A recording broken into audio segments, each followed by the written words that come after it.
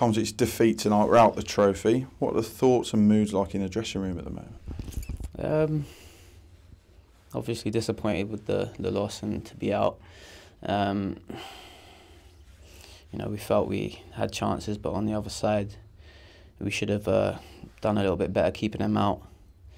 So you know, there's a bit of disappointment in the, uh, the camp. Obviously, it's not it's not what you wanted. We wanted to get the victory today and hopefully progress, but unfortunately, it's it's it's not what um, are on the cards for us.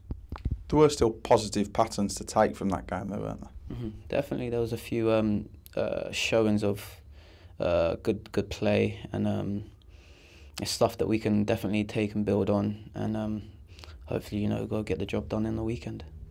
For yourself, you showed a little bit of versatility to your game tonight, slotting in at centre half.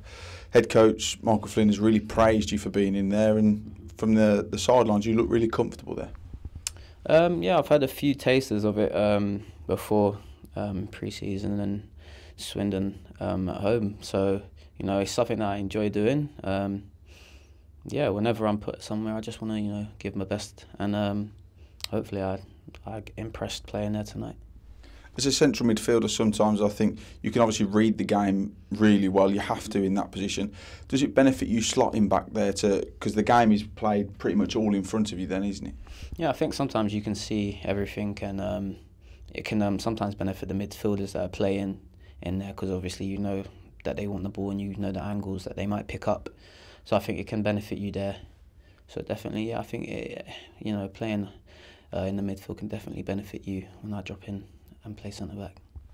Into a tough game at the weekend now, but an opportunity to bounce back from defeating the league on Saturday and defeat tonight. Yeah, of course. Um, you know, it's it's it's a defeat in the league.